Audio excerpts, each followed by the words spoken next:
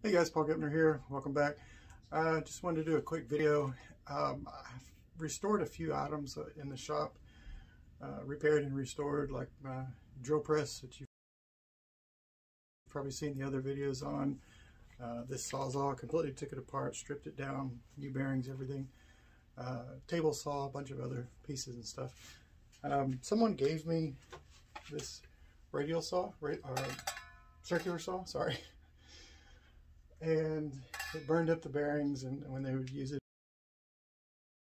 it would smoke and it's basically they were going to trash it and throw it away. But it's been abused and painted on and all sorts of stuff.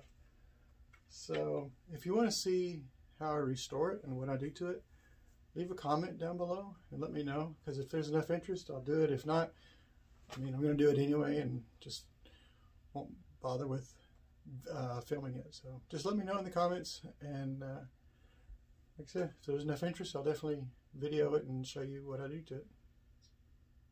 All right. Thanks for watching.